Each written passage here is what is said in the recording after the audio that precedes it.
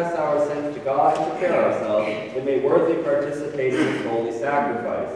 Well, there may be a couple of boo-boos with today's Mass. I'm not firing all cylinders. We stayed up for the Red Sox last night, and uh, then after all that excitement at 12 o'clock, you know, then tried to go to bed, forget it. Uh, so it's been a long night, or a short little night, and now I'm trying to function. And we also have our crop walk this afternoon. And so, excuse me, that, that's Shane Victorino. Shane Victorino.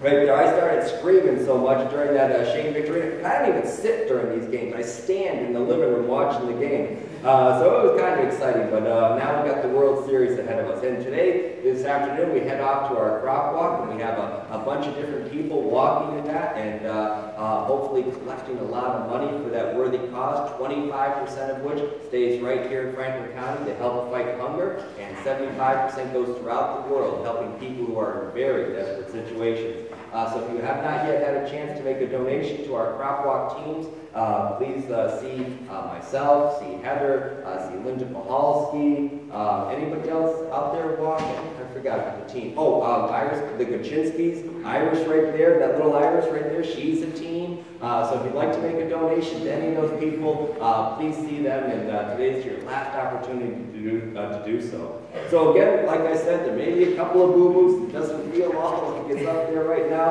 uh, but it was a lot of fun, and as we now gather in Jesus' house hopefully just as much excitement, I ask you to please make an examination of your conscience.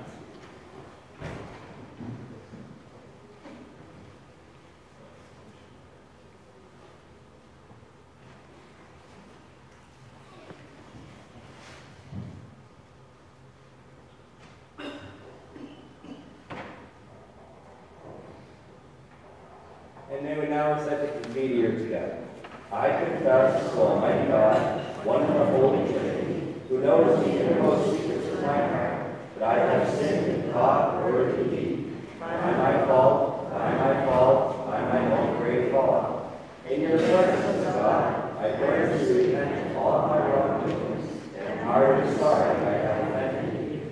Most merciful God, have mercy on me, forgive me, and pardon me my sins. I resolve to life, improve and sanctify, that I may become worthy to serve you faithfully all the days of my life. I beseech the Blessed Mother Mary, all the saints, and you, my brothers and sisters, pray to the Lord our God for me. May Almighty God have mercy upon us, forgive us our sins, and bring us to life everlasting. Amen. May the Almighty and merciful Lord grant us pardon, absolution, and the remission of our sins. Amen. May our Lord Jesus Christ absolve you, and by his authority vested in me, I absolve you from your sins, in the name of the Father, the Son, and the Holy Spirit. Amen. O God, you will again renew us. And you give Show us, O Lord, your mercy. and grant. O Lord, hear our prayer. And our cry unto Lord be with you. And with your spirit. Let us pray. Take away from us our iniquities, we beseech you, O Lord, that pure hearts may enter into the tabernacle of the Holy of Holies, through Christ our Lord. Amen.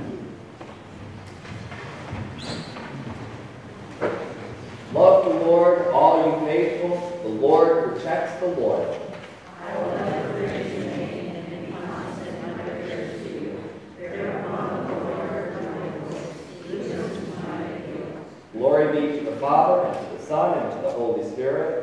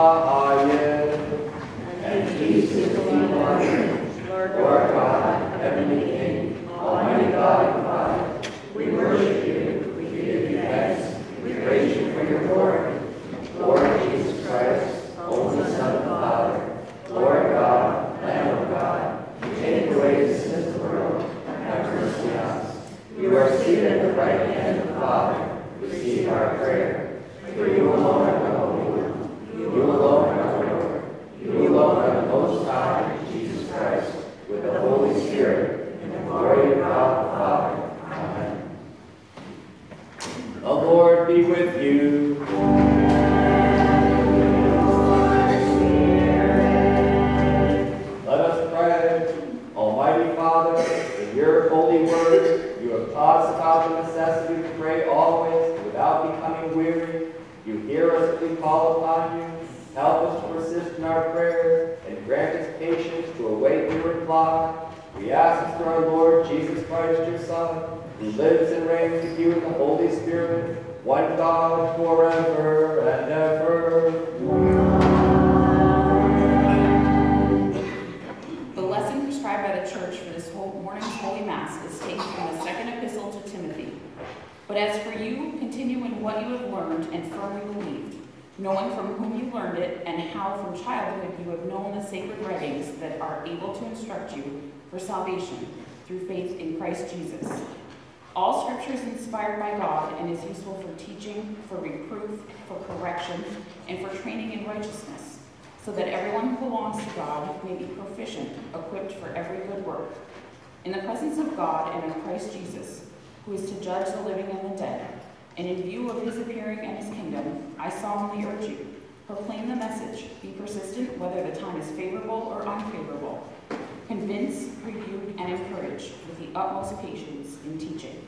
Here ends the lesson prescribed by the church for this morning's Holy Mass. Thanks be to God. With all prayer and supplication, pray at every opportunity in the Spirit. To that end, we also Alleluia, alleluia. Will he then delight the Almighty and call upon him constantly? Almighty and eternal God, who cleansed the lips of the prophet Isaiah with a burning coal, cleanse my heart and my lips through your gracious mercy, that I may worthily proclaim your holy gospel through Christ our Lord. Amen. May the Lord be my heart and on my lips, that I may worthily proclaim his holy gospel. The Lord be with you.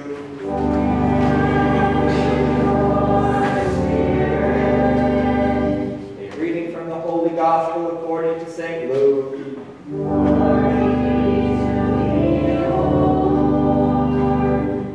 And then Jesus told them a parable about the necessity for them to pray always without becoming weary. And he said, There was a judge in a certain town who did not fear God, nor respected any other human being. And a widow in the town used to come up to him and say, Render a just decision for me against my adversary. For a long time, the judge was unwilling, but eventually thought, Well, it is true that I don't care about God nor respect any human being. Because this widow keeps bothering me, I should deliver a just decision for her, lest she finally come and strike me. And the Lord said, Pay attention to what the dishonest judge has said. Will not God then secure the rights of his chosen ones who call out to him day and night? Will he be slow to answer them? I tell you, he will see to it that justice is done for them speedily. When the Son of Man comes, will he find faith still on the earth? By the words of this holy gospel, may our sins be forgiven. When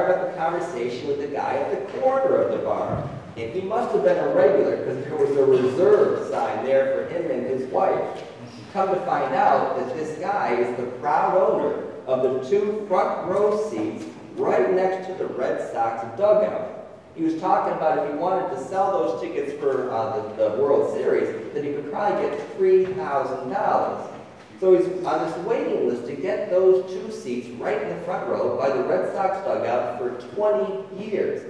He had season tickets throughout that whole area, field box seat area, so that he could eventually you know, move here and a little bit closer and a little bit closer, so eventually he could get the front row seats. The guy who owned those tickets before him, he said, held on to them for 50 years. But the guy didn't complain because he felt the payoff, those front row seats right by the dugout, that they were worth the wait. And last Friday, we went to uh, see a million dollar quartet over in the Boston's theater district. And after the show, we stopped at Legal Seafoods in the Prudential Center for a late dinner. Again, we sat at the bar. It's about 10 p.m., and across the way in Prudential uh, Center Mall is a GameStop store. It's 10 o'clock at night. Most all of the stores are closed. But from our seats in the restaurant, we could see all of these people lined up right down the, I bet you there were a hundred people, there may be more, all lined up, going into the store politely, one after the other. One comes out, one goes in. One comes out, one goes in. They hand over their money, and they get some kind of a little ticket that allows them to wait on the hallway floor for another two hours so that at midnight they can actually go in and have the privilege of buying some video game. A mother and her young son come into the restaurant and they sit down beside us. I found out from her that this new video game was Pokemon. I thought Pokemon, you know, died 10 years ago. But there were these hundred people waiting in line so they could be the first ones that night to stay up all night and play Pokemon. So there were parents with children in that line. There were teenagers in that line. There were 20 and 30 somethings lining up and waiting until midnight in a hallway of a mall just to play a brand new video game. They waited, they didn't complain because they felt the wait was worth the effort. And then there's Jesus, who has to sadly wonder out loud for us in today's reading. But when the Son of Man comes, when I, Jesus, come, will there still be faith on the earth? Will we wait? Do we think it's worth the wait? And I'm not going to take that story down the conventional path of a priest complaining that people have so much time for so many other things, but church, sadly, not so much. Instead, I want to try and look at this from the perspective of Jesus. I want to try and feel what Jesus was feeling when he said, I come. Will there still be faith here looking? Will people care? Will they remember? And since I'm in no position to say what's on Jesus' mind, I'd like to share with you a story from the Bible, from the Old Testament book of the prophet Hosea. Hosea, he loved his wife, but his wife did not love him as much, and she proved unfaithful. According to the ancient law, Hosea could have had her punished, he could have had her killed, but the prophet loved his wife. So Hosea took his wife back after she had proven unfaithful, and again, the wife proves unfaithful. In his state of emotional anguish, the prophet heard God's calling. As surprising as it may sound, the emotional wreckage that filled Hosea's heart and soul was what finally cracked open the door so that he could hear God's own self-revelation of emotional anguish. Nobody was prepared in Hosea's day to understand a God who had a broken heart. Their God was powerful. Their God was strong. Their God was Sabaoth, the God of the armies. And only Hosea when he had gone through the torment, the anguish of a broken heart because his wife had been unfaithful to him on, num on numerous occasions, only then was he able to hear that God also had an aching heart. And I don't think we're all that accustomed to thinking about God in terms of a broken-hearted lover like he's revealed. You know, all-powerful. You know, that, that's something that sounds like God. But in comparison with a jilted lover, think that then and today it still makes us feel uncomfortable. We don't want to think about God as having a broken heart because people aren't faithful to him. Maybe this revelation was and is so strange that only a broken person like Hosea could hear God's own plea over all of our preaching about God. We sometimes preach as church that God is up there unchanging, that you know He's up there in all of that wonder and that bliss and that all of the things that we do down here, that you know He knows about them, but they don't really change Him. But Hosea says God had a broken heart. When we ignore God, it's not like God says, well, well, we'll see what happens with the next generation. It hurts God. So what shall I do with you, God, he says, O Ephraim, he says to the prophet. What shall I do with you, O Judah? Your love is like a morning cloud, like dew that goes away early. And just like the prophet, God cannot seek punishment. Rather, he yearns for reconciliation. And he continues, But how can I give you up, Ephraim? How can I hand you over Israel? My heart recoils within me, says God. My compassion grows warm and tender. I will not, I cannot execute my fierce anger. This is a God who understands what it is to be hurt. And this is a God who loves us so much that it hurts when we don't try to love him back. That's what I'm trying to get across with that whole idea about Jesus. Will anybody be faithful when I? I think Hosea's revelation of God can help us better understand why Jesus says what he says to us today. I think we're seeing Jesus tormented by fears that his message, that his ministry may be forgotten, that he himself may be forgotten. Think about how many people in your world just have no idea what Jesus is anymore. Think how far away Jesus is and think how much he is willing to do because he loves us. And then don't think about it as sin and obligation and damnation. Think about it as breaking Jesus' heart. Does that matter to us? I don't want to complicate the story, but Jesus' question is located between his second and his final passion predictions. He knows that his time is short. He's preparing to give everything that he possibly can to and for us on the horrible cross. His commitment to us never wavers, not even in the face of his own torture and death, but Jesus still asks out loud, Will I find faith on earth? He is the broken-hearted God revealed in Hosea's own emotional anguish. His question emerges from the deepest recesses of his soul, and he is really wondering, am all that I'm doing, all of the stuff that I'm doing, is it all worth it? Will it last? Will people care? Will they remember me? And this is why I can't just stand here and complain from the pulpit about people finding time for so many other things, but not for Jesus. The real question is, why? Why can I get so excited about a simple Red Sox game? Why can I get so excited about the anticipation of the World Series with something as simple as the Red Sox that, you know, it really doesn't matter in the grand scheme of things. But why can my, my heart pound? Why can I stand up in my living room watching television because I can't sit? Why can I yell when Shane Victorino scores a grand slam? Why do I get so excited about that? And then church for so many people is just, oh, it's church time again. With that said, Let's listen to what was read to us from 2 Timothy by Chris. Remain faithful to what you have learned and believed. Remain faithful to what you have learned and believed. Where's the who in that statement? Where did Jesus go in that statement? Why are we, why in that already maybe 15, 20 years after you know, Jesus has passed away, maybe 30 years, why are they already looking backwards to where Jesus was instead of where Jesus is in their lives. Already by the later writings of the New Testament, is turning into a faith about Jesus and not a faith in Jesus. It's turning into someone else's story rather than our own. And if today this is still the best that we can do as church, then really, shame on us. And no wonder people aren't as excited by church as they are by baseball and video games. In Hosea's day, the temple continued her liturgy. But God said to the prophet, the more they incense, you know, those incenses that we do on the high holy days, the more they incense, the more they sinned against me. The more they boxed their faith between walls of a building, whether grand or small, the less they cared about me in their daily lives. God became the practice of professionals and stopped being a personal God. His people forgot about him and let somebody up on the top of the hill offer the sacrifice. And just like that, it broke God's heart. Jesus has to wonder out loud, will I find faith on the earth?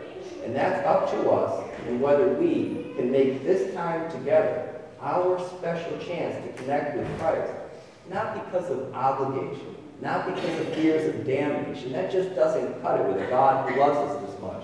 Not because of what others have told us, but because we have built a real relationship with Him, and we feel Him here, and we need to be with Him here. Let us pray that we can have faith in Christ like He has faith in us, that Jesus is worth the wait. And this we ask in His name. Amen. In the name of the Father, and of the Son, and of the Holy Spirit. Amen.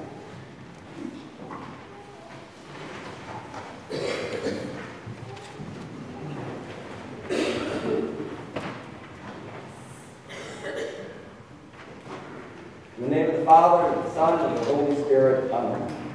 Almighty most merciful Lord, as we gather on this beautiful fall morning, we also offer our prayers for all who will be participating in this afternoon's crop walk. We ask that their collections have been generous. We ask also that all the work that we try to do through that worthy organization may help your people so desperately in need.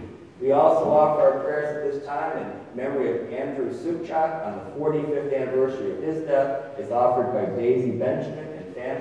We continue to offer our prayers for Daniela, who is suffering from spinal cancer, is offered by the Zara and Lynch families. We also continue to offer our prayers for Marshall Arenstam um, as he continues to battle his uh, cancer.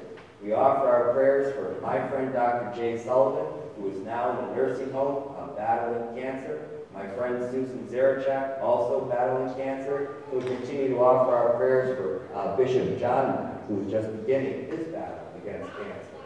We also offer our prayers for the strength and health of Hugh Hubbard as offered by the Hubbard family.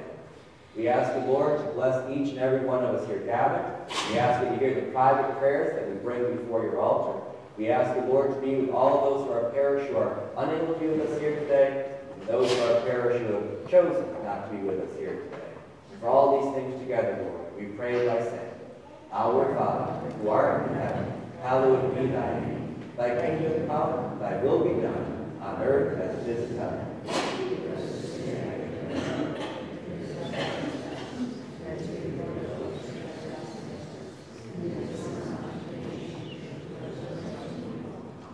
Hail Mary, full of grace, the Lord is with thee. Blessed art thou amongst women, and blessed is the fruit of thy womb, Jesus.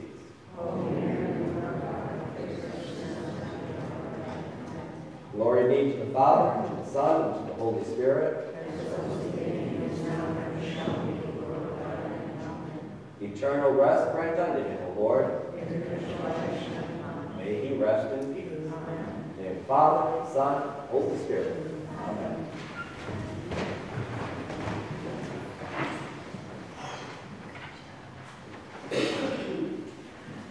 I believe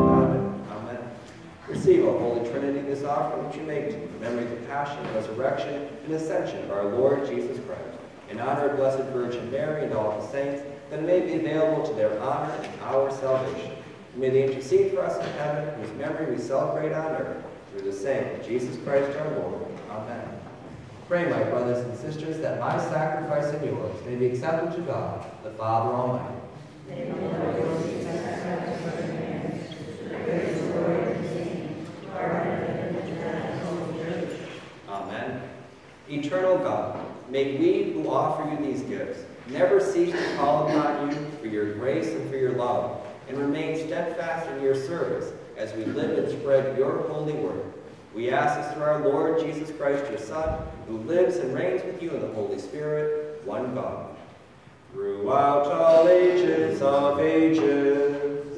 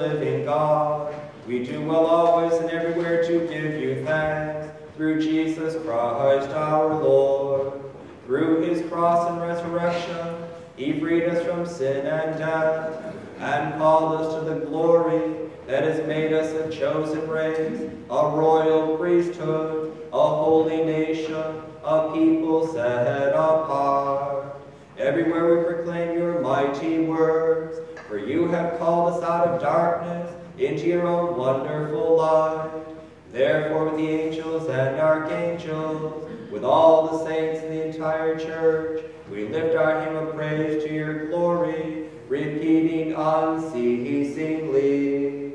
Holy, Holy, Holy,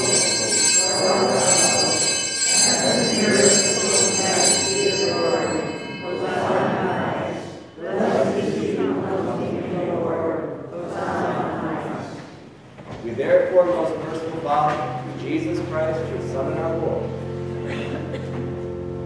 most humbly beseech you to bless these gifts, these presents, these holy, unspotted sacrifices, which your holy church receives from you, imploring you to defend and guide throughout the world, together with priests and all true believers in the holy faith.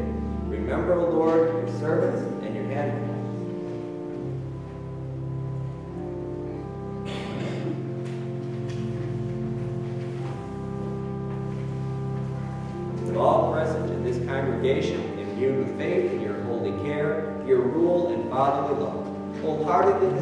We unite in spirit with all of them, We give the most blessed Mary, Mother of Jesus Christ, likewise his apostles with all the innumerable hosts of martyrs and confessors, who lived, labored, and suffered for the same holy cause for which Jesus Christ sacrificed his life in his most precious blood.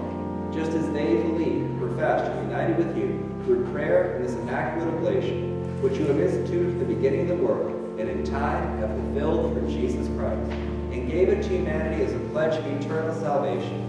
So we too this day profess and unite ourselves with you, most gracious Father, in humbleness of spirit, and accept from your hands this holy bread and this precious chalice as a law for gift bestowed on us by the Savior of the world as spiritual food and drink. He promised us this food and drink in that moment when he revealed his divine power by the multiplication of bread and feeding with it a hungry multitude of people, and afterward told uh, giving it to his disciples and friends as more excellent nourishment when he said, It is my Father who gives you the true bread from heaven. I am the living bread that came down from heaven. Whoever eats of this bread will live forever. The bread that will give for the life of the world is my flesh.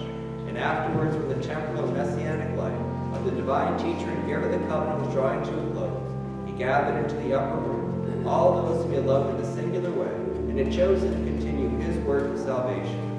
Spoke to them words of deep love, longing, and resolve. I will not leave you orphaned, I am coming to you. I am the way, the truth, and the life. You are my friends if you do what I command you. Do not let your hearts be troubled, and do not let them be afraid. In the world you will face persecution, but take courage. I have conquered the world. If you abide in me, and my words abide in you, ask whatever you wish, it will be done for you. Those who love me will keep my word, and my Father will love them, and we will come to them and make our home with them. For their sakes I sanctify myself, so that they also may be sanctified in truth, that they all may be one. As you, Father, are in me and I am in you, may they also be in us, so that the world may believe that you have sent me. I in them, and you in me, that they may become completely one. I am the bread of life. Whoever comes to me will never be hungry, and whoever believes in me will never be thirsty. After these, other words of the archpriestly prayer, and with holy fervor, our Savior took bread into his holy and venerable hands, and having lifted his eyes to heaven, to you, O God, as Almighty Father, giving thanks to you, he blessed it, broke it, and gave it to his disciples, saying, All of you take and eat of this, for this is my body.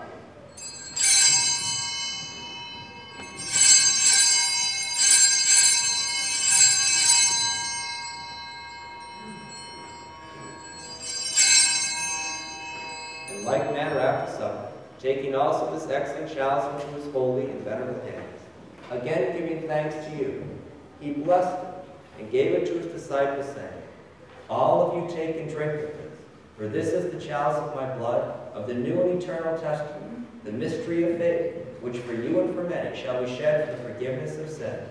As often as you shall do these things, do them in remembrance of me.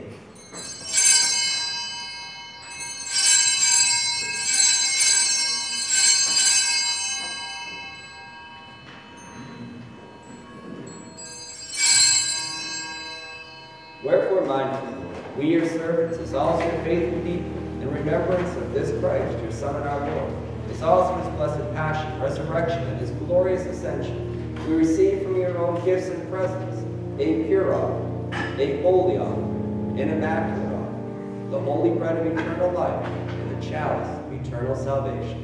These gifts we receive with a joyful countenance as from him, who is the giver of all temporal and eternal good gifts, and with an unshakable faith they will become for our souls a saving remedy. We humbly beseech you, Almighty God, command that our prayers be borne by the hands of your holy angel to your highest altar, for the countenance of your divine majesty. That as many of us as receive the salt of the most sacred body and blood of your Son may be filled with every blessing and grace through the same Christ our Lord. Mindful also, Lord, of your servants and handmaidens, all who have gone before us with the sign of faith, and who have passed on to eternity.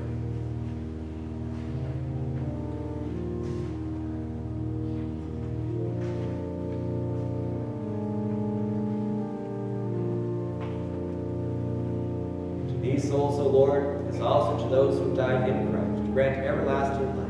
And to those who during life strayed from the path of righteousness, unmindful of your fatherly love, mercifully shorten their sufferings, we beseech you, in the name of Christ our Lord, and your beloved Son. And grant us, your sinful servants, who hope in the greatness of your mercy, some part and fellowship with your holy apostles, martyrs, and all your saints, who shed their blood for your name's sake, whose hearts are always open to justice and mercy, and whose lives patterned after the divine Master merited eternal bliss.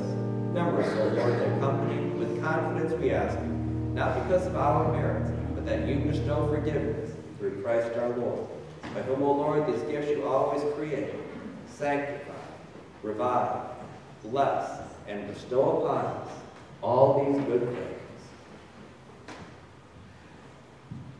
Through him, and with him, and in him, to you, God the Father Almighty, in the unity of the Holy Spirit, all honor and all glory. Throughout all ages of ages. Amen. Let us pray, admonished by salutary precepts, and following divine institution, we make bold to say, Deliver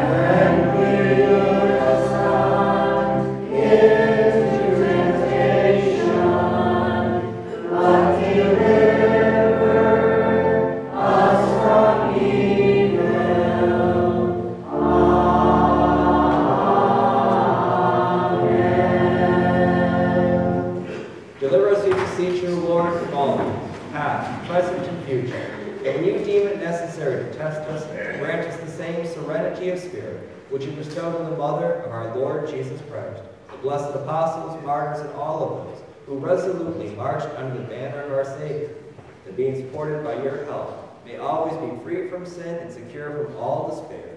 Through the same Jesus Christ, your Son and our Lord, who lives and reigns with you in the unity of the Holy Spirit, ever one God. Throughout all ages of ages.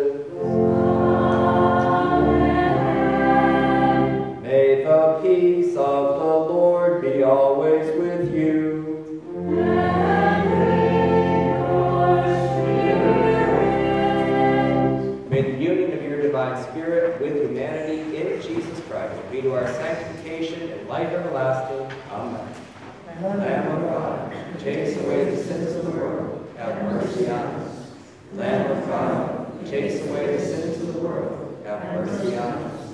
Lamb of God, who takes away the sins of the world, grant us peace. O Lord Jesus Christ, who said to your apostles, My peace I leave you, my peace I give you. Look not upon our sins, but upon the faith of your church, and grant her peace and unity according to your will, who lives and reigns, God, world without end. Amen. O Lord Jesus Christ, Son of the living God, who according to the will of the Father, through the cooperation of the Holy Spirit, has by your death revived the world. Deliver me by this your most sacred body and blood from all my iniquities and from every evil, and grant that I may always fulfill your holy will, who lives and reigns for all ages. Amen. Partaking of your body, O Lord Jesus Christ, which I, all unworthy, dare to receive, May not serve as a judgment, but through your mercy may become a defense of my soul and body and a desired remedy. May the sacramental union with you, Jesus Christ, my Master and Savior, awaken in me living faith, fervent love, worship, adoration, and a holy longing. May make me a willing and zealous servant toward fulfilling God's purpose on earth, and may it at last unite me entirely with you, O Christ and God, in eternity. Grant this who lives reigns with God the Father, in the unity of the Holy Spirit, world without us. Amen. I will take the heavenly bread, and I will call upon the name of the Lord. Lord, I am not worthy you should enter into my heart, but only say the word, and my soul shall be healed. Lord, I am not worthy you should enter into my heart, but only say the word, and my soul shall be healed. Lord, I am not worthy you should enter into my heart, but only say the word, and my soul shall be healed. May the body of our Lord Jesus Christ preserve my soul unto life everlasting. Amen.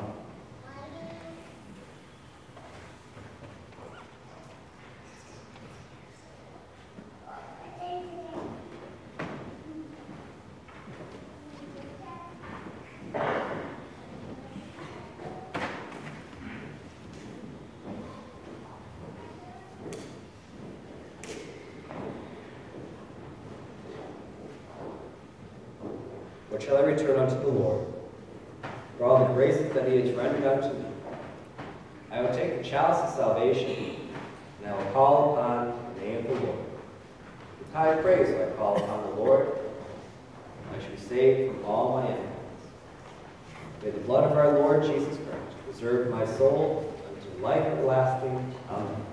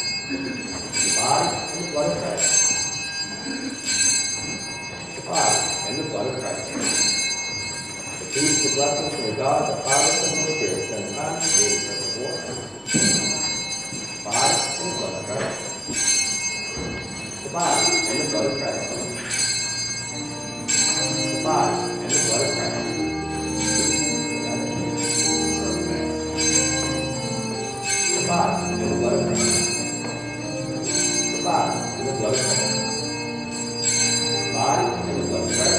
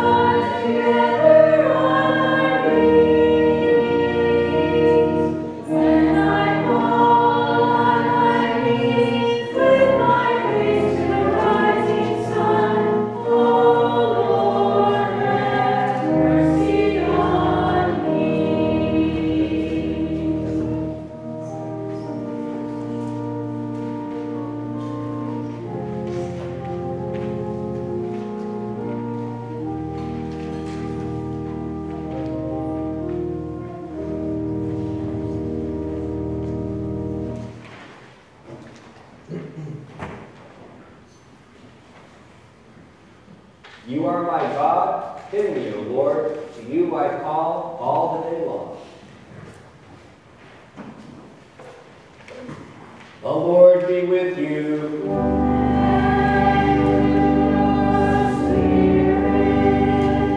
Let us pray. Heavenly Father, may we who have now shared in your holy word and in this Eucharist rejoice in your love prayers are heard. We ask this in the name of your Son, Jesus Christ, who lives and reigns with you in the Holy Spirit, one God forever and ever. Amen. The Lord be with you.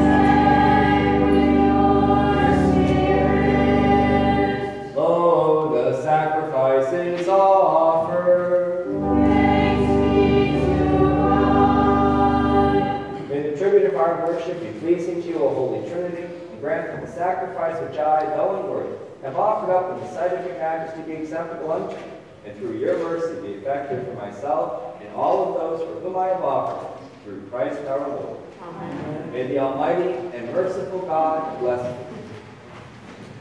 The Father, the Son, and the Holy Spirit. Amen.